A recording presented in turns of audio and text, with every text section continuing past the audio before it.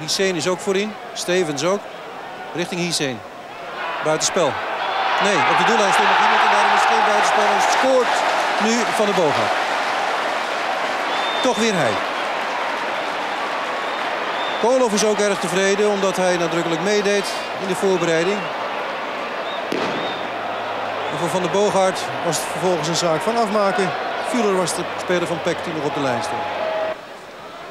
Er zit Rep vast op Lokhoff. In het midden van de Boogaard.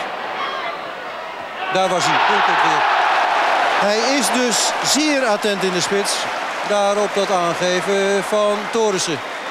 Paasje Lokhoff. Scoren van de Boogaard. Ingooi van Riemens. Dat is knap, maar je moet ergens heen met die bal. En dat is voor Peck nu op dit moment het grote probleem. Vuller. Willems Riemens. Vuller.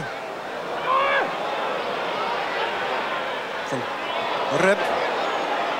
Moet wel ineens en het is een doelpunt. Dat is knap afgemaakt door Johnny Rep. Eigenlijk de eerste opening sinds uh, tijden voor PSC Zwolle. En men scoort onmiddellijk. Twee minuten na PSV's treffer. 2-1.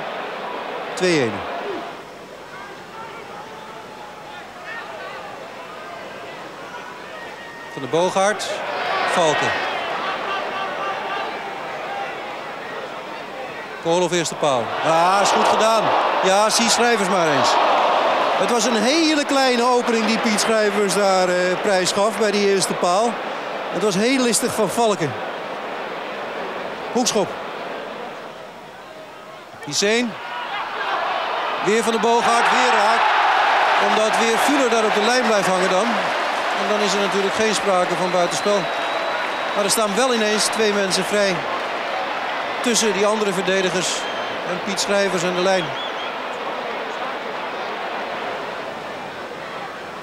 Wildschut, goed. Lokhoff. Maakt het spel voor PSV lekker breed altijd aan die kant. En daar is eindelijk Koolhof met een rakenbal.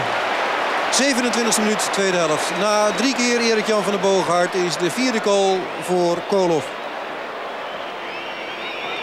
Rep heeft één keer gescoord inmiddels in deze wedstrijd.